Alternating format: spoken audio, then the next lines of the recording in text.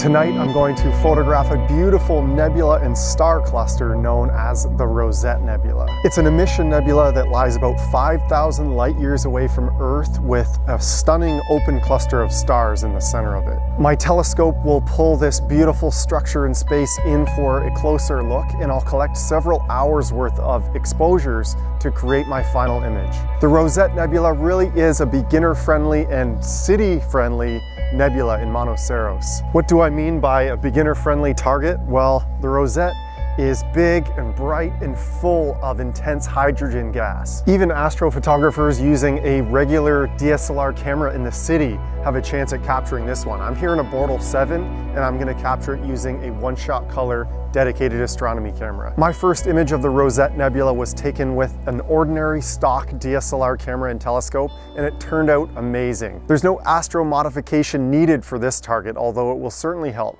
Because it's new moon tonight, I get to shoot beautiful full color images. I'll use my one-shot color dedicated astronomy camera without a filter to capture as natural looking image as possible. My goal for tonight is to collect a wider field of view on the Rosette than I have in the past.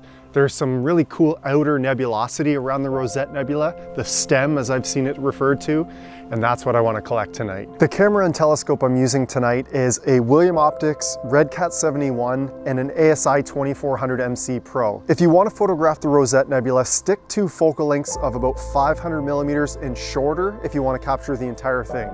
That of course depends on the size of the sensor you're using. This one happens to be full frame. One of the toughest parts about shooting the Rosette Nebula is intentionally ignoring the showstopper known as M42 or the Orion Nebula nearby. And trust me, I thought about shooting the Orion Nebula again tonight, but it's the Rosette's turn.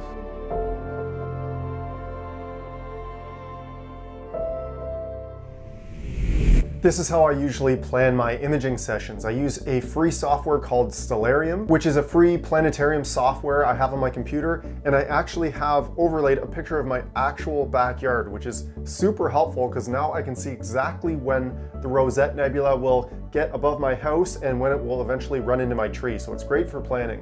I can also see exactly how big the object will be in my camera sensor using my exact telescope magnification. This is the sensor size here around the Rosette Nebula through my telescope, and as you can see, I can capture the whole thing with a lot of room to spare. What I can't see just yet is that stem of outer nebulosity, and I'll have to do some test exposures in the field to frame that part up right.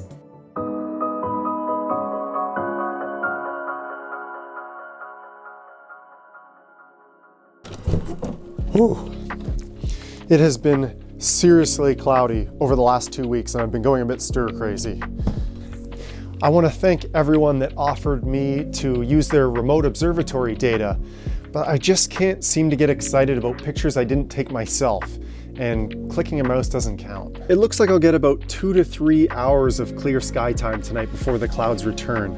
That should be enough to complete my image of the Rosette Nebula from the backyard. I'm taking images here in the Black Dog Observatory as well. There's no reason not to run this system every clear chance I get. I'm just still not used to this. With the color camera system running outside of the observatory, in here I'll capture luminance data using my monochrome camera and apply that to my final image of the Rosette Nebula. It should be an interesting experiment to see how much that extra luminance data adds to the final picture.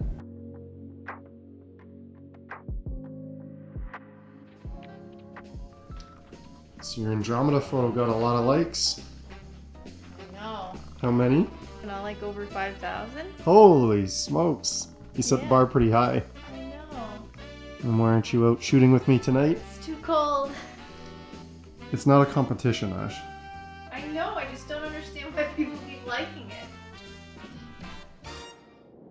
It's currently minus 14 degrees Celsius and I've got both rigs running and I know what you're thinking, why wouldn't I just use the observatory on a night like this? That's why it's there, right? The convenience. I couldn't help myself but to set up two rigs on the first clear night I've had in two weeks. This way I can also double my exposure time, which would really help me with my image. Both setups are running in the backyard right now, but it's very cold and the seeing is really bad. So I'm second guessing shooting luminance with my monochrome camera in the observatory to combine that with my broadband color data. So I've since switched to narrowband H alpha with the monochrome camera and then the wide field setup continues to shoot broadband full color RGB.